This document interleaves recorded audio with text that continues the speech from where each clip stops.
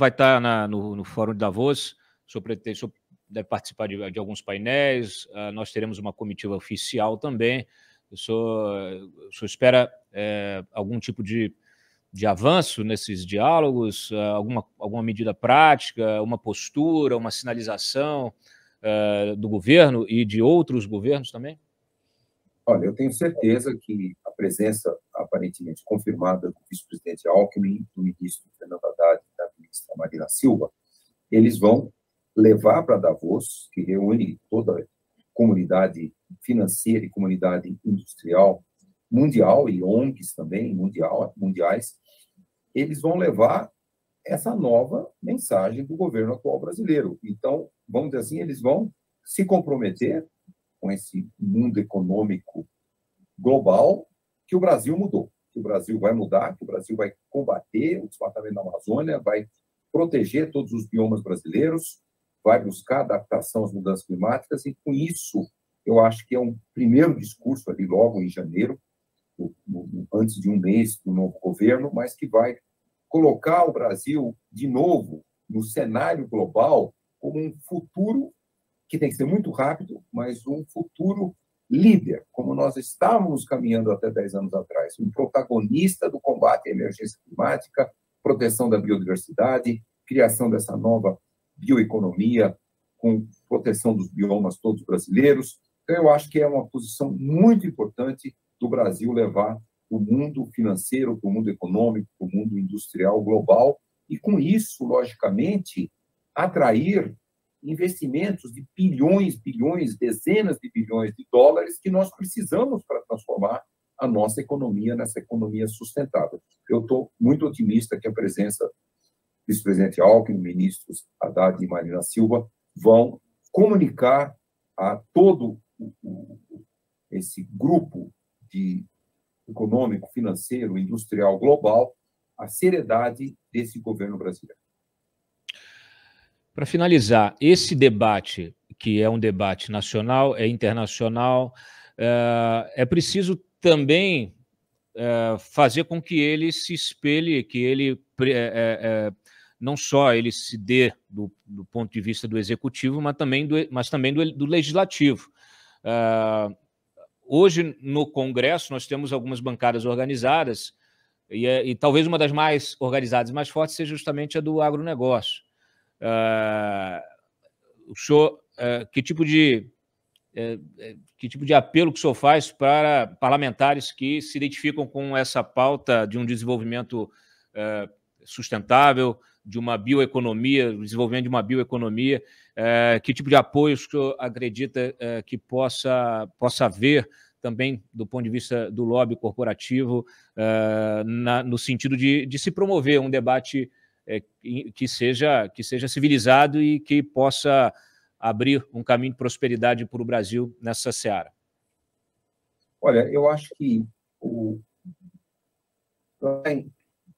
no Egito, na COP27, quando o presidente Lula fez aquele belíssimo discurso, é, nada oficial, ele era um presidente eleito, não era a posição oficial do governo naquele momento, dia 16 de novembro, o presidente chamou muita atenção que o Brasil tem que caminhar para a chamada agricultura regenerativa e sustentável. Isso é um desafio global, um desafio mundial, a reduzir muito, globalmente falando, todo o setor da agricultura responde 30% das emissões de gás de efeito estufa. Então, aqui no Brasil também, é, é nessa faixa, desmatamentos, quase 50%. E o presidente fala essa, essa, é, esse conceito que tem que ser expandido globalmente, mas o Brasil é o quarto maior produtor de alimentos, o segundo maior exportador de alimentos, é a agricultura regenerativa e sustentável. Essa agricultura, aquele exemplo que eu dei dos sistemas integrados lavoura, pecuária e floresta, que faz parte dessa agricultura regenerativa e sustentável, é muito mais economicamente faz muito mais sentido, é muito mais lucrativa.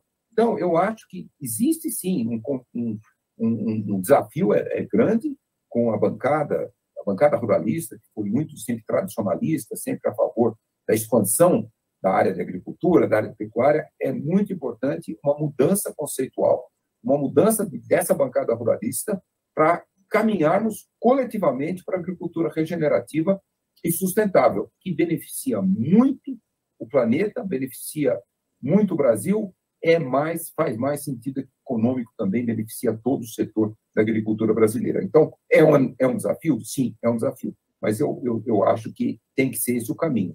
Vamos ser o Brasil o, o segundo maior exportador de alimentos, o quarto maior produtor de alimentos, rapidamente caminharmos para a agricultura regenerativa e sustentável.